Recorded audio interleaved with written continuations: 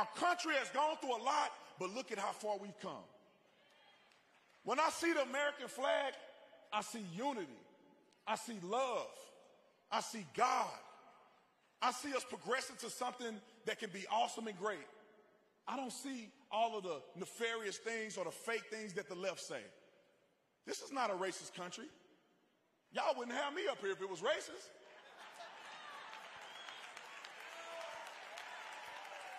Y'all, y'all are the worst racist people I ever met.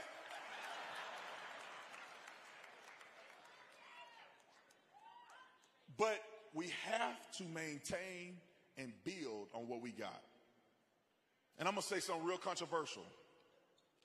We can't have people in office that are afraid to say that abortion is wrong.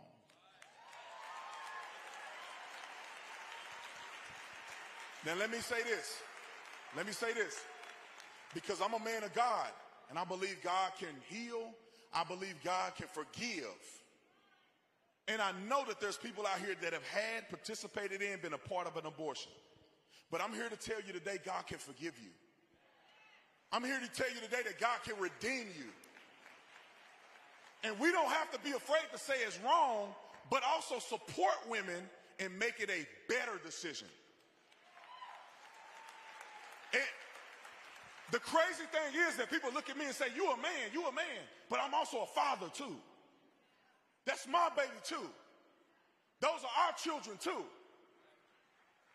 And I believe that it's not good enough to just say, you shouldn't have an abortion, shouldn't have an abortion, shouldn't have an abortion. Let me show you a better way. People always ask me, Brandon, are you pro choice, pro life? I say, man, I'm pro life and pro choice. Let me tell you why. Because I believe that women do have a choice. The choice is just not uh, uh, uh at the clinic, it was in the bedroom. Y'all,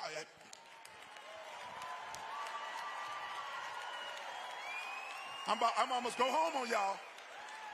You had a choice when you was doing a thing.